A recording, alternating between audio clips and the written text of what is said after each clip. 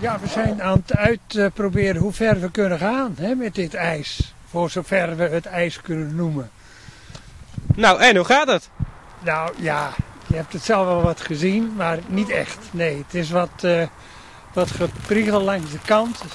Het, is, het is nog te dun om iets uh, echt te kunnen doen. Maar toch heb je een paar slagen gemaakt? Jawel, en even doorgegleden. Dat uh, ging best leuk hoor. Het idee was er weer. Jullie konden echt niet langer wachten? Nee, echt niet. Dan krijg je de kriebelt al begint te vriezen en dan moeten we hierheen. Maar wat ging er mis? Je lag twee keer lang uit. Ja, ik ben een keer met de schaats door het ijs heen gegaan, meteen toen viel ik. Niks aan overgehouden? Dat niet. Heb je ook echt geschaatst? Nou, een beetje. Heel klein beetje, een paar keer een paar streekjes gedaan, maar meer ook niet. We zijn hier ook om even te zien hoe de situatie erheen ligt. Want hier in het midden ligt alles nog open, een heel groot stuk open. Dus als je hier morgen vroeg naartoe komt, dan weet je dat je daar niet moet zijn.